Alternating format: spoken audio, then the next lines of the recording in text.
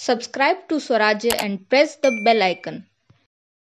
The US Navy has declared that it conducted freedom of navigation patrols in the Indian exclusive economic zone near Lakshadweep without deliberately seeking prior consent. US Navy said in a statement that India requires prior consent for military exercises in its exclusive economic zone, a claim inconsistent with the international law. This freedom of navigation operation upheld the rights, freedoms and lawful uses of the sea recognized in international law by challenging India's excessive maritime claims.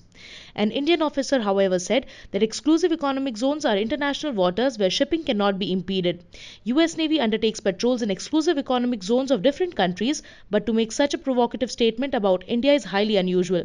While India ratified UN Convention on the Law of the Sea in 1995, the US has not done it till now. While a country has full sovereignty over territorial waters, it has only special rights in exploration of marine resources in its exclusive economic zone, which stretch to 200 nautical miles from the baseline.